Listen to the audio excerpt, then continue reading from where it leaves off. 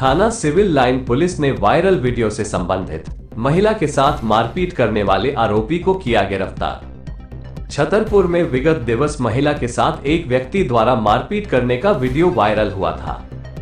Chhatarpur police के संज्ञान में आते ही पुलिस अधीक्षक छतरपुर अगम जैन ने संबंधित पुलिस अधिकारी को आरोपी की गिरफ्तारी हेतु निर्देशित किया गया था।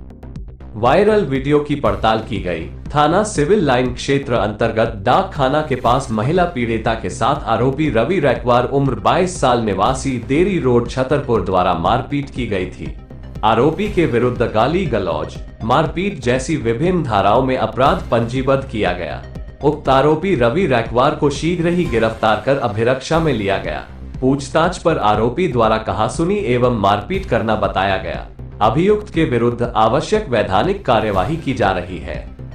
उक्त त्वरित कार्यवाही में थाना प्रभारी कोतवाली निरीक्षक अरविंद कुजूर थाना प्रभारी सिविल लाइन निरीक्षक वाल्मीकि चौबे व पुलिस टीम की महत्वपूर्ण भूमिका रही। राज इंडिया 18 के लिए ब्यूरो रिपोर्ट छोटू खान छतरपुर।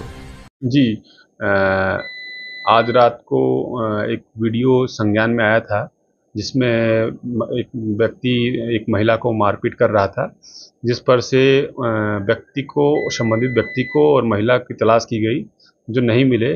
परंतु वरिष्ठ अधिकारियों के, श्रीमान पुलिस अधीक्षक महोदय के आदेश से उस वीडियो में हम लोगों ने स्वतः संज्ञान लिया है और स्वतः संज्ञान लेके एक एफआईआर की है।